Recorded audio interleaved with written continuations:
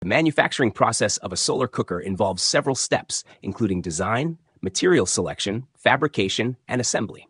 Here's a general overview of the process. 1. Design and prototyping. Conceptualization.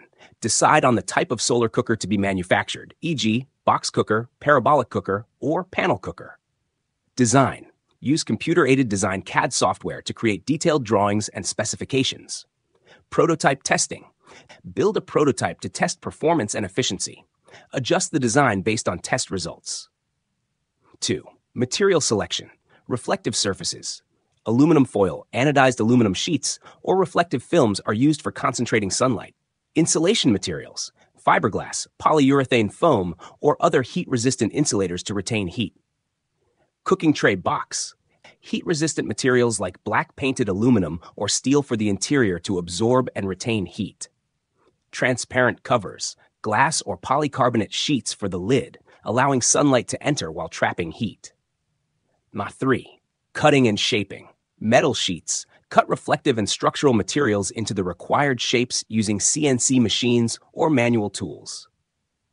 Insulation panels. Shape the insulation material to fit the cooker's structure. Glass panels. Cut glass or polycarbonate sheets to fit the cooker's dimensions.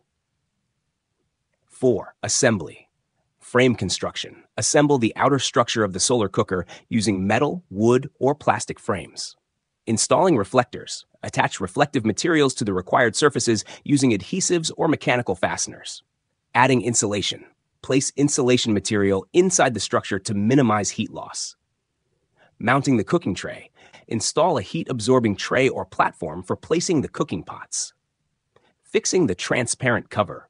Attach the glass or polycarbonate lid securely to the frame. Part 5. Quality control. Performance testing. Test the cooker under sunlight to ensure it reaches the desired temperature range. Leakage test. Check for air gaps or insulation defects that might reduce efficiency.